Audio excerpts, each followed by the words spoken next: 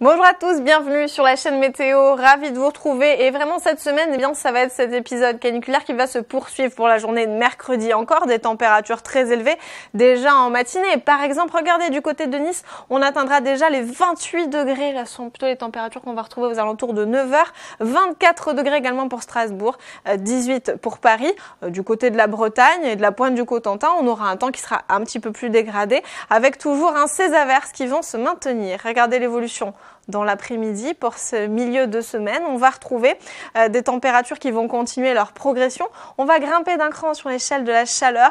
À Toulouse, on atteindra les 36 degrés mercredi après-midi, 39 euh, du côté de Bordeaux, on atteindra également les 39 degrés euh, du côté de Valence, 38 pour Lyon, 35 pour Paris, 38 pour Strasbourg. Je vais pas vous faire toutes les températures, mais vous l'aurez compris, vraiment, bien sûr, hein, on est en plein dans les seuils caniculaires. Regardez l'évolution pour les jours qui vont suivre. Ça va se poursuivre, hein, cette chaleur, cette canicule, euh, la journée de jeudi. Sur la moitié sud, par exemple, en moyenne, on atteindra les 38 degrés avec ce plein soleil à l'échelle nationale. Sur la moitié nord, on sera plutôt aux alentours de 31 degrés en moyenne.